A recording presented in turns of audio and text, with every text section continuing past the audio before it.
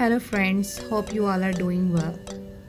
So today I will tell you about the lavender oil. First of all, what is lavender oil and then what is the uses of lavender oil. Lavender oil is an essential oil. Lavender oil is the most popular oil which is used to promote the relaxation and believed to treat the anxiety. Now I will tell you the common uses of lavender essential oil. Moisturize dry skin. Repel insects. Freshen laundry. Air freshener. Insects bites now I'll tell you about the benefits of lavender oil for skin. Helps to treat acne, reduce face wrinkles,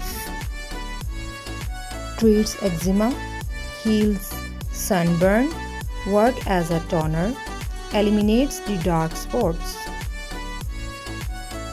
Medical sleep. Lavender essential oils can be a powerful way to help you relax and sleep better. If you prefer not to leave your diffuser running, you may consider adding a few drops of essential oil to your pillowcase. Shortly before bedtime, this will allow the scent to linger throughout your sleeping hours.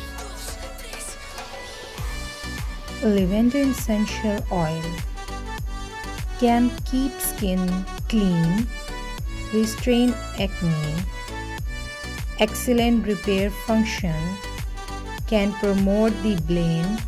Bland is dry, fade skin, bland to imprint,